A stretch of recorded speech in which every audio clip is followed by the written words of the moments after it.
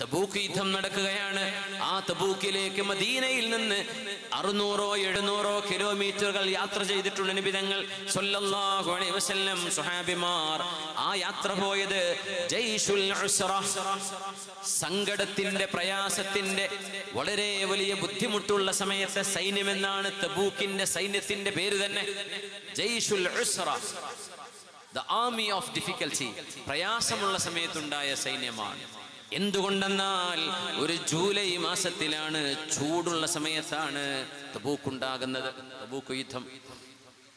ഹബീബായ റസൂലുള്ളാഹി സ്വല്ലല്ലാഹു അലൈഹി വസല്ലമ തങ്ങൾ അവസാനം സംബന്ധിച്ച യുദ്ധമാണ് തബൂക്ക്. തബൂക്കിലേക്ക് യാത്ര തുടരുകയാണ്.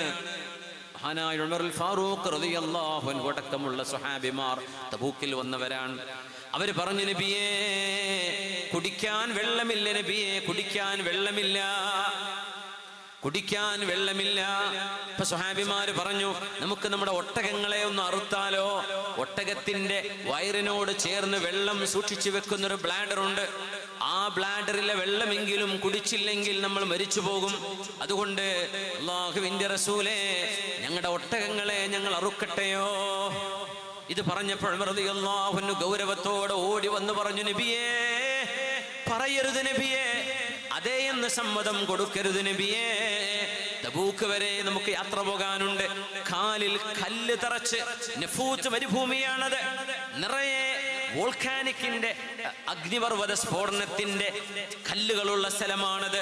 ആ മരുഭൂമിയിൽ കാലിൽ ചെരുപ്പില്ലാതെ ധരിക്കാൻ കഴിയില്ല. സുഹാബിമാരിൽ ചെരുപ്പുള്ളവർ വളരെ കുറവാണ്.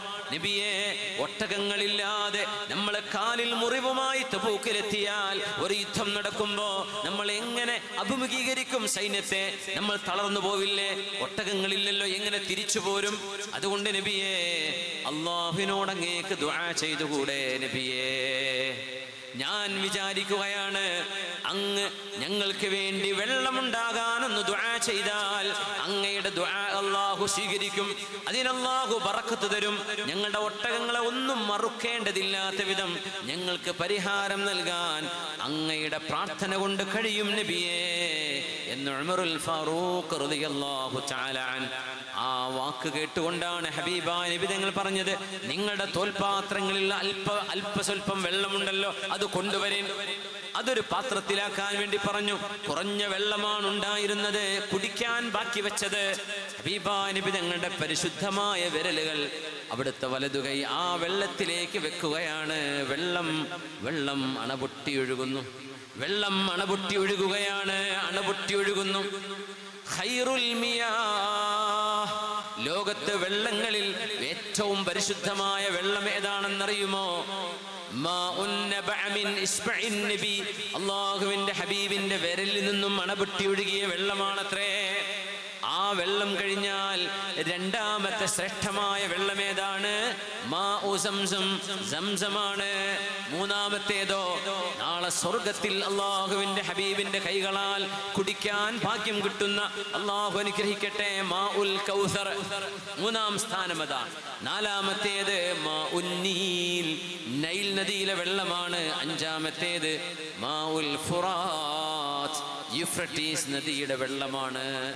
ഇങ്ങനെ വെള്ളങ്ങളുടെ മഹത്വമുണ്ട് ഹദീസുകളിൽ ഏറ്റവും ശ്രേഷ്ഠമായത് ഇനി ലോകത്ത് കിട്ടാനില്ലാത്തത് അത് ഹബീബിന്റെ വിരലിലൂടെ അണപൊട്ടി ഒഴുകിയ വെള്ളമാണ് ومن اليسير سقى وأطعم جيشه ومن اليسير سقى وأطعم جيشه حتى اكتفوا ويسيره لم ينفدي يا رب صل على النبي محمد منجي الخلائق من جهنم في غدي ومن اليسير سقى وأطعم جيشه കുറഞ്ഞ വെള്ളത്തിൽ നിന്ന് ഒരു സൈന്യത്തെ അള്ളാഹുവിന്റെ റസൂലെ അങ്ങ് കുടിപ്പിച്ചില്ലയോ തബൂക്കിലേക്ക് പോയ മൂവായിരത്തോളം വരുന്ന സൈന്യത്തിനാണ് നബി തങ്ങളുടെ പരിശുദ്ധമായ വിരലിലൂടെ അണപൊട്ടിയൊഴുകിയ വെള്ളം കുടിക്കാൻ ഭാഗ്യമുണ്ടായത്.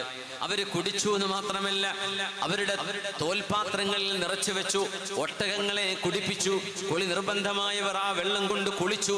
എന്നിട്ടും ആ വെള്ളം ബാക്കിയായിരുന്നു. ഹബീബ നബി തങ്ങളുടെ പ്രാർത്ഥനയുടെ മഹത്വമായിരുന്നു അത്. ഫാറൂഖ് റളിയല്ലാഹു അൻഹുവാണ് പറഞ്ഞത് നബിയേ ഒട്ടകങ്ങൾ അറുക്കാൻ സമ്മതം കൊടുക്കരുത് നബിയെ. അങ്ങ് ദുആ ചെയ്താൽ പോരെ. അങ്ങയുടെ പ്രാർത്ഥന മതിയല്ലോ നബിയേ.